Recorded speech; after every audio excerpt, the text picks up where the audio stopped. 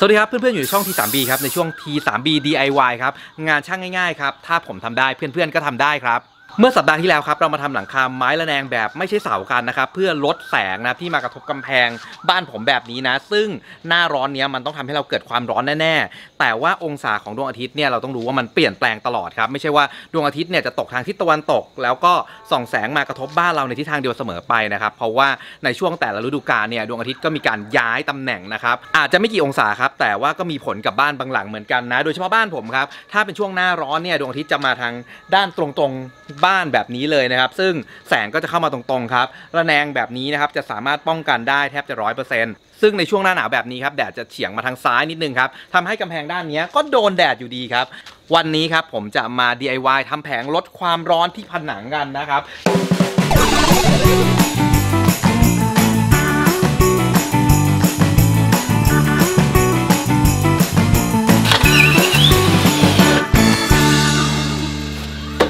เค เสร็จเรียบร้อยครับ ซึ่งอุปกรณ์ที่ผมจะใช้วันนี้ครับเป็นอุปกรณ์ที่เหลือจากสัปดาห์ที่แล้วครับนั่นก็คือมีเนียมสำหรับติดผนังเบานั่นเองนะครับและวัสดุที่ผมจะใช้นะครับก็คือตัวไม้พาเลทนั่นเองครับก็จะเป็นวัสดุที่เหลือจากการทำงาน DIY ก่อนหน้านี้ทั้งหมดเลยนะ เดี๋ยวจะเอามาทำเป็นฉนวนบังแดดฝั่งนี้ครับแล้วก็สำหรับประโยชน์ของไม้พาเลทนะเคยพูดในวิดีโอก่อนหน้านะครับที่ใช้ไม้พาเลททำงานนอกบ้านแล้วนะว่าไม้พาเลทเนี่ยเป็นไม้ที่ถูกอบฆ่าเชื้อมาแล้ว ดังนั้นเนี่ยมันจึงไม่มีปลวกนะครับแล้วก็ค่อนข้างทนแดดทนฝนเลยทีเดียว แต่ว่าถ้าใครเนี่ยบอกว่าไม้เนี่ยอายุการใช้งานมันสั้นนะครับแล้วก็กลัวว่าจะต้องมาลื้อเปลี่ยนในอนาคตนะ ผมแนะนำว่าอาจจะใช้วัสดุอื่นๆครับไม่ว่าจะเป็นไม้ฝาเชอร่าหรืออื่นๆก็ใช้แทนได้นะ โดยหลักการของการลดความร้อนที่ผนังง่ายๆครับเพราะว่ากำแพงบ้านเราเนี่ยมันเป็นปูนถูกไหมครับ เวลาโดนแสงเนี่ยมันก็จะเก็บความร้อนไว้ครับ แล้วก็มาคายความร้อนตอนกลางคืน ซึ่งมันเป็นห้องนอนครับ มันก็จะร้อนมากเลย เพราะฉะนั้นครับ ถ้าเราเอาฉนวนนะครับ ตัวที่มันไม่อมความร้อนเช่นไม้นะครับ หรือแม้กระทั่งไม้เชอร่าเนี่ย ถ้าเรายกจากกำแพงให้มีอากาศผ่านนะ มันก็จะสามารถระบายความร้อนบนผนังได้ดีกว่าครับ หรือจริงๆเนี่ยเดี๋ยวนี้เขาก็มีสีลดความร้อนนะครับ แต่ว่าผม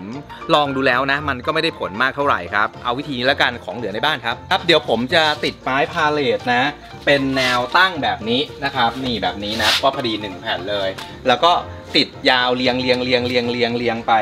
เรื่อยๆนะครับจนสุดท่อตรงนี้นะแล้วก็เราก็ตัดเหล็ก C นะครับให้เข้ากับความยาวตรงนี้นะครับเป็นเหมือนกับเป็นผนังด้านในอะเป็นแกนด้านในเพื่อที่เดี๋ยวเราจะยึดน็อตกับไม้พาเลทได้ง่ายขึ้นถามว่ายิงไปกับกำแพงได้เลยไหมมันก็ได้นะ แต่ว่าสำหรับผมเนี่ยมันยิงยากกว่าครับเพราะฉะนั้นเนี่ยเอามีเนียมมาเสริมให้มันลอยขึ้นจากกำแพงนิดนึงดีกว่าครับเนี่ยครับข้อดีของการใช้น็อตแบบไม่ใช้ปุ๊กนะครับซึ่งเป็นน็อตตัวนี้นะก็หาซื้อได้นะครับไทยวัสดุโฮมโปรบุญถาวรอะไรอย่างเงี้ยนะครับ มันก็คือเราไม่ต้องเขาเรียกอะไรนะไม่ต้องวัดมากนะครับ เราเอาเหล็กนะครับ หน้าไปอย่างนี้เลยนะ แล้วผมก็จะเจาะรูนี่เกลียวปล่อยสำหรับเจาะผนังปูนเนี่ย มันต้องใช้ลูกบล็อกครับ แล้วก็เป็นเหมือนกับไขควงไฟฟ้านะ แต่ว่าพอดีเนี่ยผมไม่มีบล็อกไซส์นี้ที่เป็นไขควงไฟฟ้าครับเพราะนั้นผมก็ใช้ลูกบล็อกผมเนี่ยเนี่ยขันเข้าไปอย่างนี้เลยเนี่ยครับอยู่เลยเห็นไหมอ่าเดี๋ยวอีกรูหนึ่งอีกรูหนึ่ง อันนี้เลยง่ายมาก ครับแล้วต่อมาก็แค่เอาไม้พาเลทที่เหลือครับ ยิงติดเข้าไปครับกับตัวเหล็กมีเนียมตัวนี้ครับก็มีปัญหานิดหน่อยนะครับแต่มีเนียมเนี่ยเมื่อที่เนื่องจากว่าเราใช้ของเหลือนะครับ มันก็เลยเป็นตัวบางนะผมก็เลยตอนนี้ต้องเอามาซ้อน 2 ชั้นนะครับ ให้มันหนาขึ้น มันจะได้เวลาน็อตมันเข้าไปเนี่ยมันจะได้เข้าไปลึกหน่อยนะครับ แต่ว่าถ้าเป็นถ้าเราซื้อมาทำเองนะ ใช้แปรหลังคานะครับมีเนียมแปรหลังคาเนี่ยจะติดดีมากๆครับ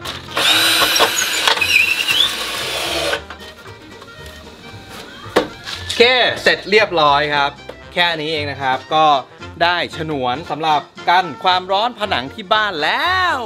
ก็เสร็จเรียบร้อยครับ ใช้ได้ผลนะ เพราะว่าเงาเนี่ยทอดมาบังแดดเรียบร้อยครับ แล้วก็ สามารถบังแดดบนกำแพงได้ อย่างน้อยก็เกิน 50%นะครับ แล้วก็ตอนนี้เนี่ยผนังห้องผมก็ไม่ร้อนแล้วนะครับ แล้วก็อย่างส่วนที่มันจะต้องโดนแดดนะครับ ผมก็เอาไม้พาเลทเนี่ยมาทำผนังไว้นะ เดี๋ยวค่อยตกแต่งให้มันสวยๆแล้วกันนะครับ แต่ว่าตอนนี้เนี่ยสามารถบังความร้อนได้เรียบร้อยแล้วครับอย่าลืมกด subscribe ใครใครและอย่าลืมกดไลค์ไลค์ไลค์ แชร์กันไป